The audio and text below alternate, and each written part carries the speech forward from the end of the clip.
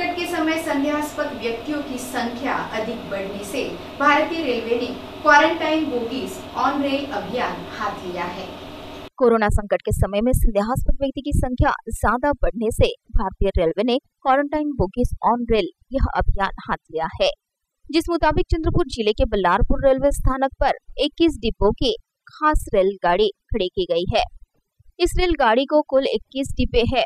इसमें 11 डिब्बे चंद्रपुर ज़िले के लिए राखीव है।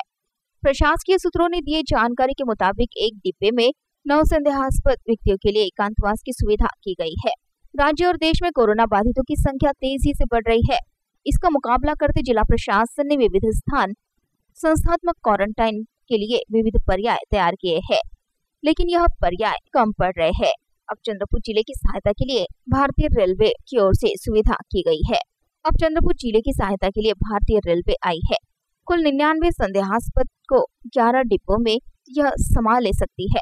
दौरान यह सभी डिब्बे विशेष पद्धति से तैयार किए गए हैं। क्वारंटाइन की सलाह दिए व्यक्तियों के लिए इस डिब्बे में विशेष परिवर्तित सुविधा की गई है। भारतीय रेलवे ने की इस सुविधा से कोरोना के खिलाफ चलाई जा रही जंग में चंद्रपुर जिला प्रशासन को बड़ा आधार मिला है। इस संदर्भ में जानकारी देते हुए नगर परिषद बल्लारपुर के मुख्य अधिकारी विपिन मुद्दा ने प्रशासन की ओर से धन्यवाद माना है। रेलवे स्टेशन पर, चंद्रपुर ज़िले के लिए कुल 21 बोगियाँ यहाँ पर आके खड़ी हुई है, प्लेटफॉर्म नंबर एक पर।